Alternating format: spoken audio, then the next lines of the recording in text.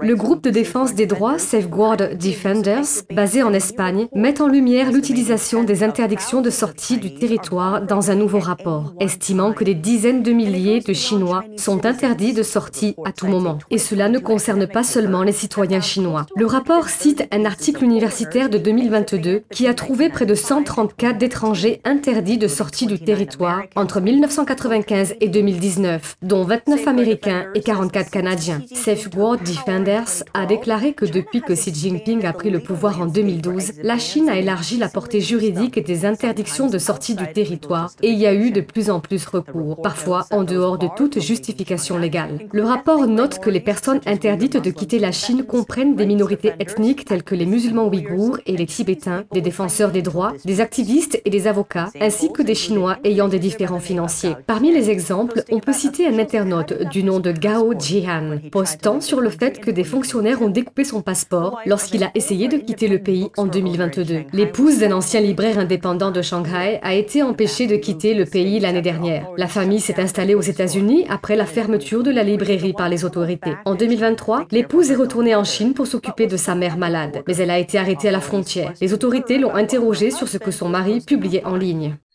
Je suis dans un état de stress et d'anxiété permanent et je ne sais pas quand je pourrai serrer ma femme dans mes bras. Et un avocat spécialisé dans les droits de l'homme s'est vu interdire de partir en 2021. Les autorités l'ont arrêté à l'aéroport de Shanghai Pudong alors qu'il se dirigeait vers les États-Unis pour rendre visite à sa femme atteinte d'un cancer. La veille, il avait écrit une lettre ouverte au dirigeant chinois Xi Jinping lui demandant de quitter le pays pour des raisons juridiques et humanitaires. Les autorités ont déclaré qu'il était détenu en vertu d'une interdiction de sortie du territoire. L'analyse de Reuters montre que la plupart des affaires étaient civiles et non pénales. Cette situation contraste avec celle des États-Unis et de l'Union européenne, qui imposent des interdictions de voyager aux personnes soupçonnées d'infractions pénales et non aux demandeurs civils.